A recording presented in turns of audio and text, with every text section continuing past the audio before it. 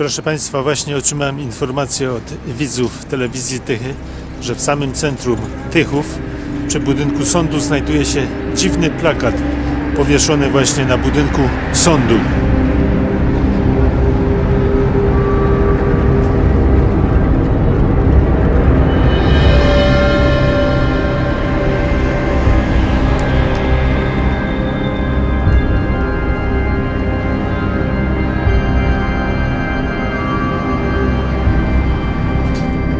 Nie wiem, co oznacza dokładnie ten plakat, kto go tutaj powiesił, w jakim celu i po prostu dlaczego on tutaj wisi od dłuższego czasu, jak informuje nas jeden z naszych widzów.